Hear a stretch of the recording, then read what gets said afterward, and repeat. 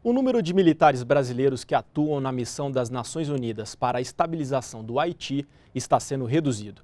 A retirada segue o calendário da ONU. E sobre este assunto, a gente conversa ao vivo com a repórter Priscila Machado. Boa noite, Priscila.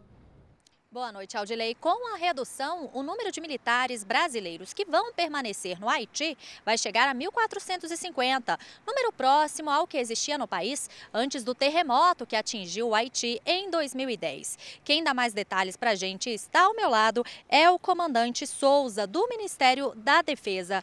Como vai ser esse processo de redução da tropa brasileira? Esse processo iniciou-se agora no final de abril, já com o retorno de tropa que não estará mais configurada no, no, no contingente futuro.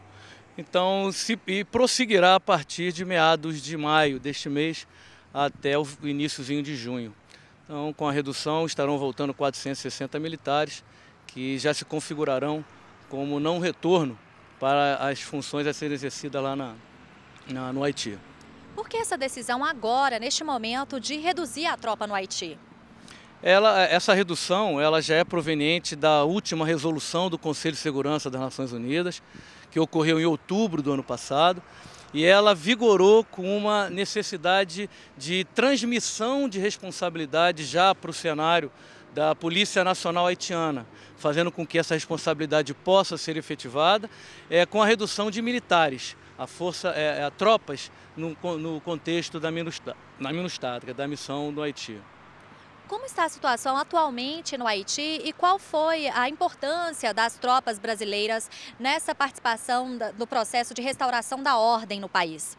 O Haiti ele já, é, já demonstrou uma, uma melhoria no seu cenário, é, ainda continua com uma pequena estagnação econômica, alguma crise política, mas efetivamente a participação do contingente brasileiro dentro do contexto da, da missão no Haiti é, foi é, significativa para contribuir para o cenário de segurança, para a legitimidade do Estado e a estabilidade também do contexto estatal.